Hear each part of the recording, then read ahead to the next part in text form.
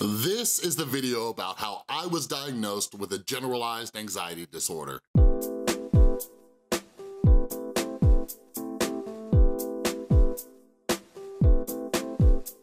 What is up, everybody? This is Chris from The Rewired Soul, where we talk about the problem, but focus on the solution. And welcome back. I am back to doing videos every week where I dive deep into a certain mental health topic, and this one is anxiety, if you haven't guessed it yet, all right? So in this first video for this week, I'm gonna be talking about how I was diagnosed with a generalized anxiety disorder, all right? So please do me a favor and share this video.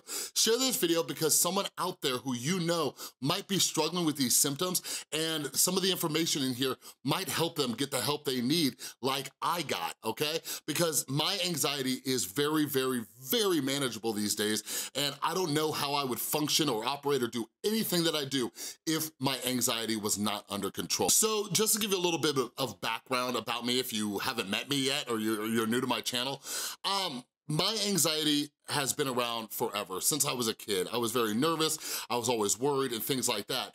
Um, one of the things that I often talk about when I talk to my clients, and sometimes I've mentioned it on my channel, is especially my generation, like I know for me personally, where I grew up, in school, in our health classes, they only taught us about physical health, okay? Taught us about what foods to eat, how to exercise, diets, STDs, cancer, all sorts of stuff like that. They never taught us about mental health, okay?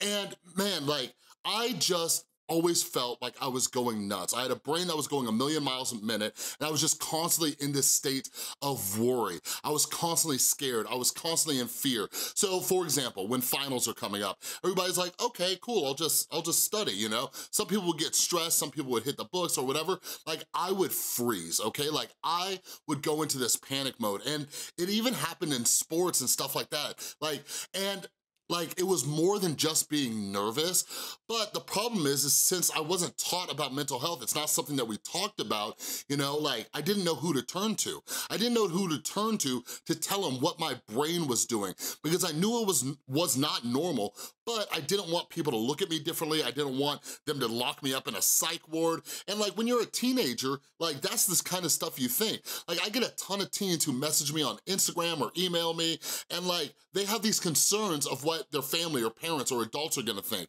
And like, I get it, I was there. And the unfortunate thing for me was I turned to drugs and alcohol.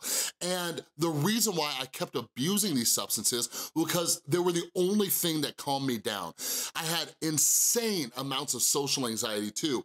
I was constantly worried about what other people were thinking about me. I was worried about what I was saying and how I was being judged.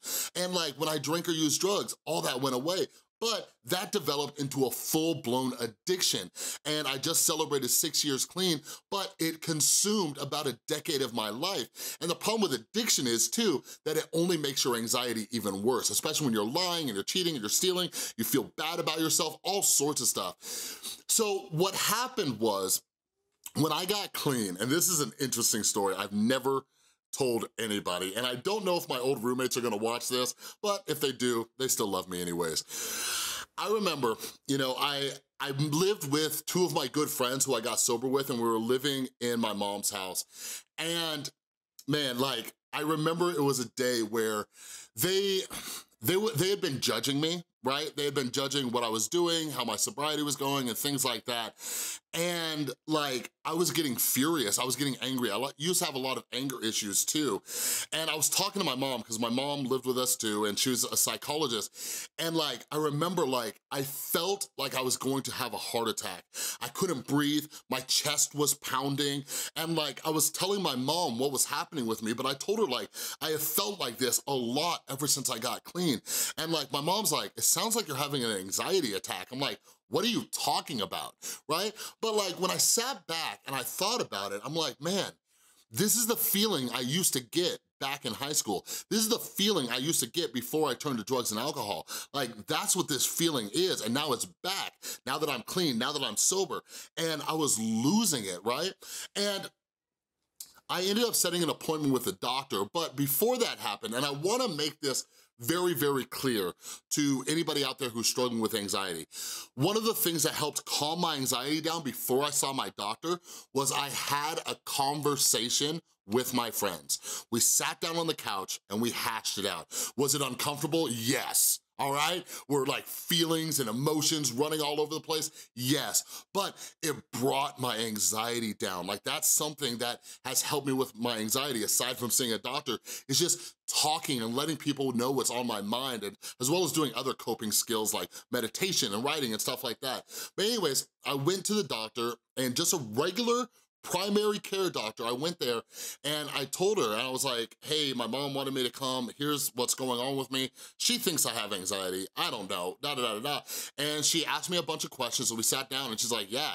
Um, and pretty much after a couple visits, she had diagnosed me with a generalized anxiety disorder. Now, because I'm an addict and alcoholic, I said I cannot take any narcotics. I might do a video this week on benzodiazepines like Xanax and Valium, but I told her I cannot have that stuff. So she prescribed me a medication called Lexapro, which I've talked about on my channel before. So Lexapro is primarily an antidepressant, but it also works as an anti-anxiety medication. And as soon as I started taking that medication, I started feeling a lot better. And the best way I can describe it, especially when I first started taking the medication was, I could feel my brain trying to worry. I could feel my brain trying to get anxious, but it wouldn't. Like, I could, I could literally just sit in my experience and realize that this medication was working. My brain wasn't going to the places that it usually went. And I was like, wow, these medications actually work. And again, they're non-narcotic medications. Now, I will say this, the medications only did so much for me, all right? They started me off at a low dose, then they doubled it, and they said, that's the maximum amount we can give you. And that's when I'm like, crap, what am I going to do? Because my anxiety was coming back. I get tolerant to medications pretty easily. And that's when I found meditation, okay? That's when meditation helped save my life because I can't stress enough, medications will only get you so far. There's a lot of other things that you have to do. That's why I make so, so, so, so many videos for you to check out and start putting things into practice. Like I mentioned, meditation, journaling, having conversations with people, okay? My imagined fear will take me to crazy places. Now, one of the things about generalized anxiety disorder, for those of you who aren't too familiar with it, I have a brain that can get triggered out of nowhere, all right? If I am not doing the things that I have to do to keep up my mental health, my brain can just get anxious even though everything is fine, all right? Another video I'm going to make is about the panic attack I had at work, out of nowhere, out of nowhere, okay? But anyways, please, please, please, go see a doctor, get diagnosed. If you can relate to any of this story, please go get help, all right?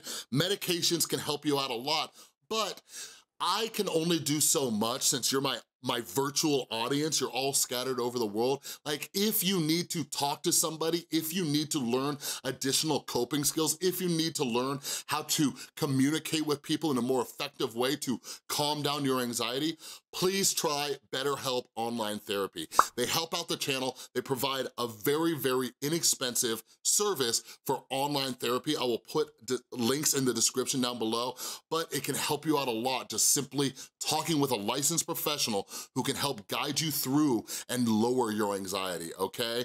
But anyways, again, like I said, please share this video. Share it so somebody out there might see the symptoms that they have so they can go get the help that they need, all right? But anyways, if you like this video, please give it a thumbs up. And if you are new here, I'm always making videos to help you out with your mental and emotional well-being. Click that little round subscribe button. And a big, big, big thank you to everybody supporting me over on Patreon to help me spread this message of hope. And if you would like to support support the channel on Patreon, you can click or tap right there, all right? Thanks so much for watching, and I will see you next time.